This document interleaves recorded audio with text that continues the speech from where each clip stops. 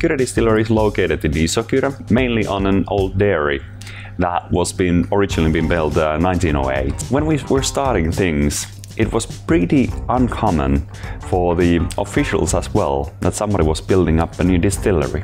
But already from 2016, as then we uh, applied two more stills, and uh, then we were having a barrel warehouse extension for our first barrel warehouse, and so on. So there we needed a lot of know-how on how the legislative requirements should be applied.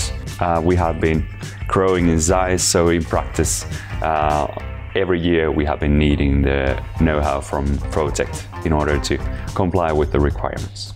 Uh, we're using Pro 24 for document management on uh, security and uh, safety documentation side.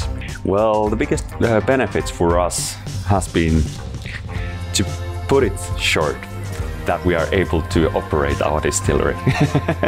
Because, uh, as, as, mentioned, uh, the documentation and the requirements are not easy to capture. So, to find uh, good solutions on the requirements, and also we are having cost-efficient solutions for those ones. The best thing regarding cooperation with Protect might be the trust. Whenever I have had any challenges, I know that I can trust uh, first of all, that I'm getting the aid uh, from Protect, but also that the help that I'm receiving is on a top-notch quality.